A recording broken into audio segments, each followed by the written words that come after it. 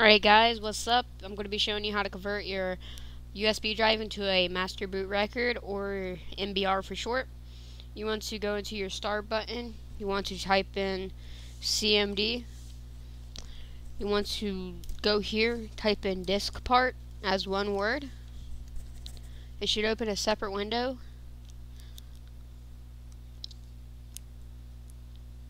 Right. then wait for it to say diskpart alright?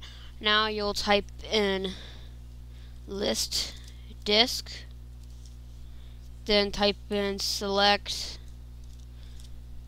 um, your drive like uh, my USB drive is the second one. The first one should be your hard drive and whichever one you want uh, to convert to MBR that's the drive you select but since I only have one USB drive plugged in that will be my USB drive. So I'm going to choose uh, select disk 1.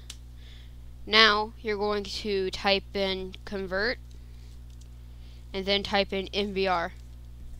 Now it's successfully uh, converted into MBR. Now just type in exit. Now you are done and that's how you convert it into a MBR file. Thanks for watching, rate, comment, and subscribe.